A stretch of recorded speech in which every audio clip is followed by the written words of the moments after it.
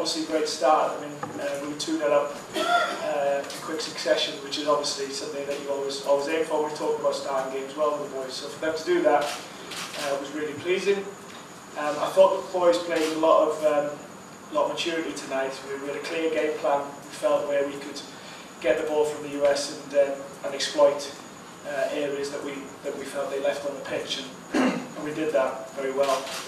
But obviously, you know, you've got to um, you've got to praise the lads so much. Quarter-final of the World Cup, it's an occasion. You know, these boys are still still very young, and for them to handle you know um, a big event, probably the biggest games in their career so far, and play with such sort of competence and uh, and, and great level, then just so many aspects of the performance we're, we're really pleased about. We won't get carried away.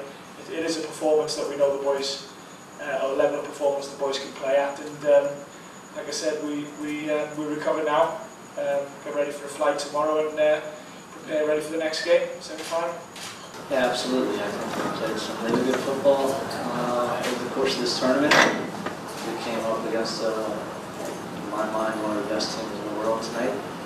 I thought we had moments tonight that were exceptional in our play, and at the same time, you know, the goalkeeper for England was uh, up to the task, made some fantastic saves in that first half that kept him really in it.